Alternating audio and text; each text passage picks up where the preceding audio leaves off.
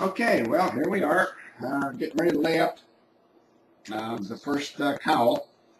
Uh, I'm going to be using uh, West Systems uh, epoxy, 105 epoxy and 206 slow hardener. One thing I like about these is the little pump shed on them. Gives you, there's no guessing on measuring this prime here. So I'm going to give it three pumps of hardener and three pumps of epoxy. And that way I've got the correct mixture. There's no guesswork, no having to measure or do anything like that.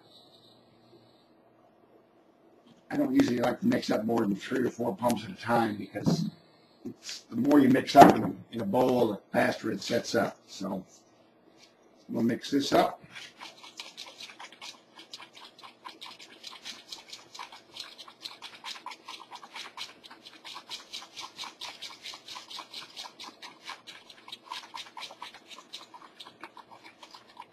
Make sure you get that good mix so you get a nice smooth color. There's a little color difference between the two so you can tell when you got a good mixture because it all blends in together. You don't have any streaks of color in there at all. Okay.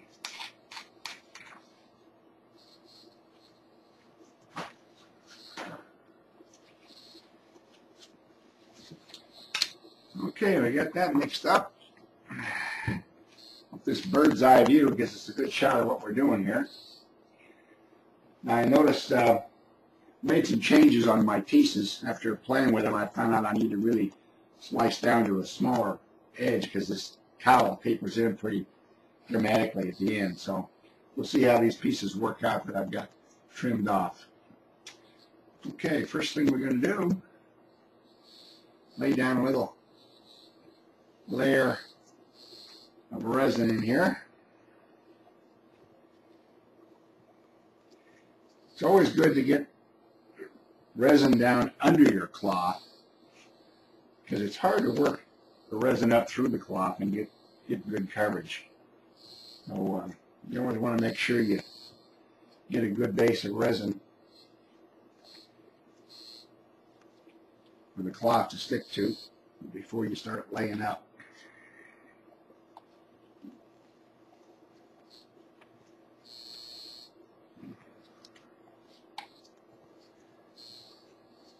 Shouldn't take too long to lay out because it's not all that big of a mold. Okay. First thing I've got is a little circle here. The nose, put that down there.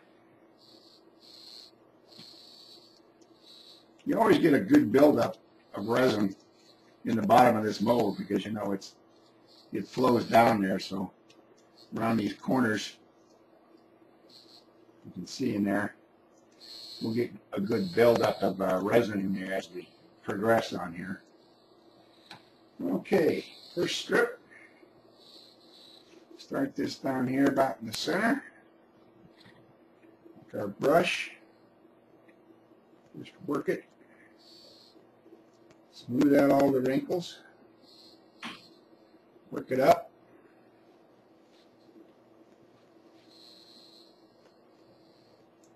Go.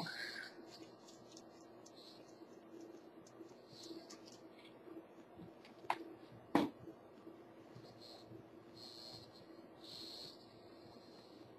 sure we get a good saturation. Cloth gets wetted out nice. Okay. One.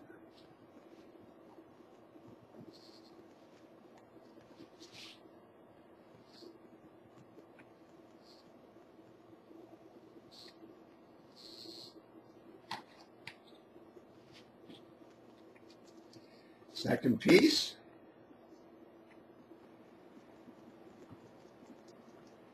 No big secrets from here on, just one piece at a time.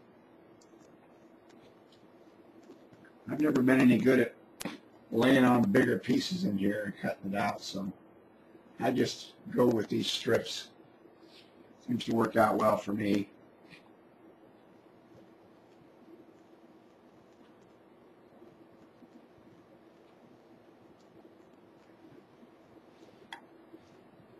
Okay.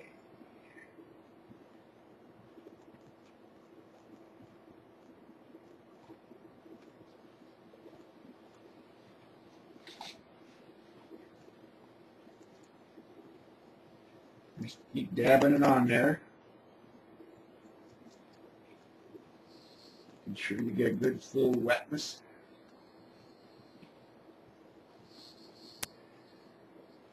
It's a lot easier if your mold has got a darker color to it, like black. Then you can really see how well it's wetting out. But I haven't been able to find any any product that I can put to the ultracal that'll color it without affecting the cure time too dramatically.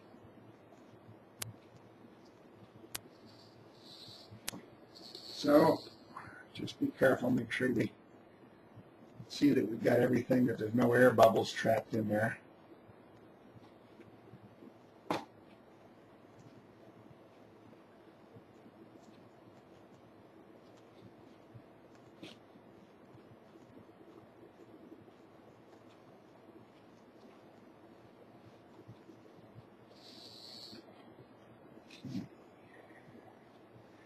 You can tell where your line starts here because you can uh, see where your fiberglass overlaps, so that's helpful.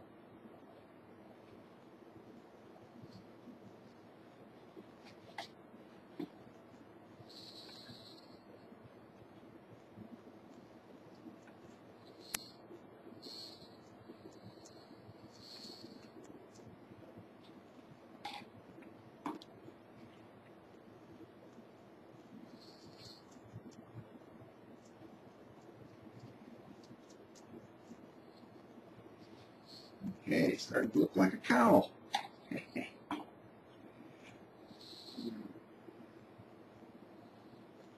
you can see it doesn't take very long to lay up this first coat. First layer, rather, I guess I should say.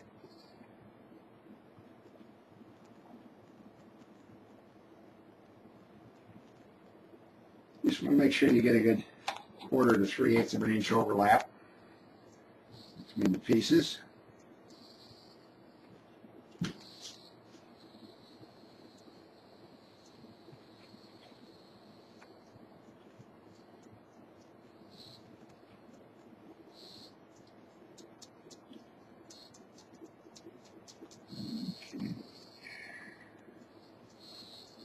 Looking good. I'm going to just a little bit more resin.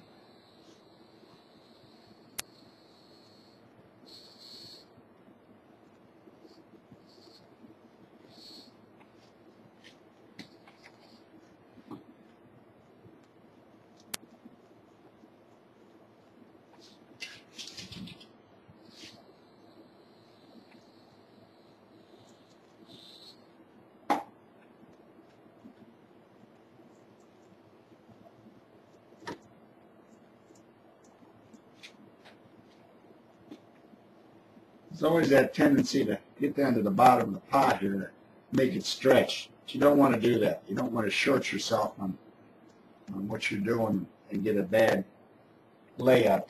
So you may have to mix up a little bit more. Next time, uh, we'll know that I'm going to probably do, what did I do, three pumps? I might do three and a half or, uh, yeah, if you want to do half pumps, what I do, you can see it, I got little marks here on there with a magic marker, half, quarter, or three quarters, so I can actually do a half a pump or half a pump on each one. And uh, I don't have to do a full pump every time. Gives you the same ratio. So, okay, one more piece here.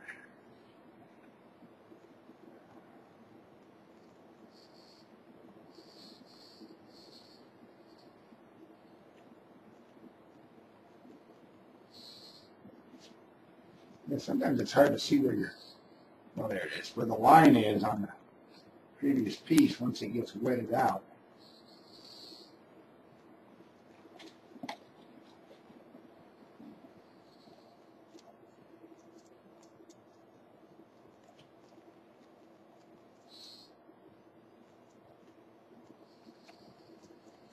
The secret, though, is is laying that resin down first because if you put your cloth in here and then you try to work the resin through it, the cloth moves all over the place and uh, makes it a lot more difficult. Yeah, naturally, I've got quite enough resin, so we'll do a, another half pump each. Here.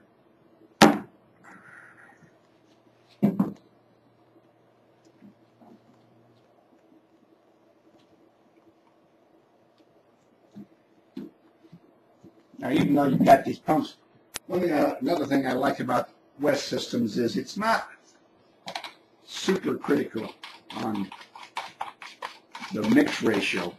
You haven't got a little bit too much hardener or a little bit too much resin.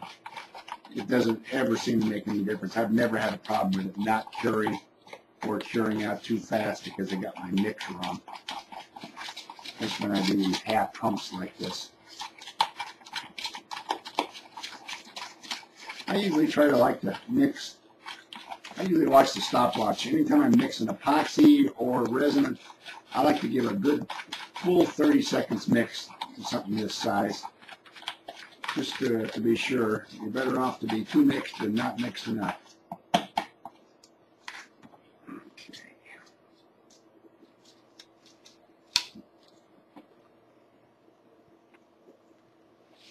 Okay, one more piece here.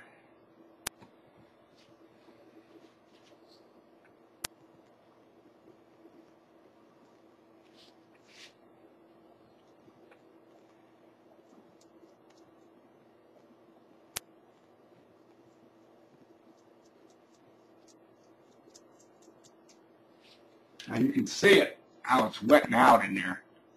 Maybe you can see it, I don't know. This camera doesn't adjust to the bright light reflection that this mold will give you, so.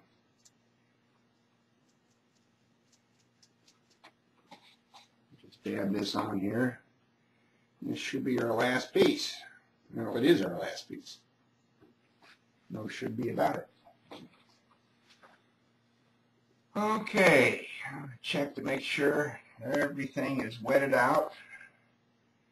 Got no air bubbles in there.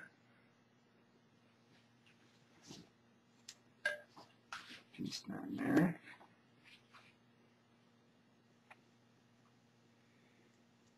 There may be a better technique for doing this. I don't know. It's always the way I've done it. And I've never seen anybody lay up a mold, so um, hopefully that's what this video will do is show people how it's done and then uh, maybe somebody, if they have a better way of doing it, can do a video and show us another method. We're always ready to learn something. Okay, that pretty much looks like the first layer is on. We'll clean up. Now I'm, I don't know why, I'm a miser on these brushes. you know, they're not very expensive, but I take my brush and this is the same brush that I have used on the entire, all the layups on the Starship so far. I don't, I, you know, I cut it off. All I got is a little acetone in here. Just set it in here like this. Clean it out. A little extra in there. That brush will sit in there. I, I cut them off so it'll fit in here. I can put the top back on. This is a yogurt container. That'll stay completely sealed. That brush will stay soft forever, practically. So I just use the same brush over and over again. I know it's silly, but that's just one of my little idiosyncrasies. So that's uh, it for now. We'll let this sit up and um, set my timer.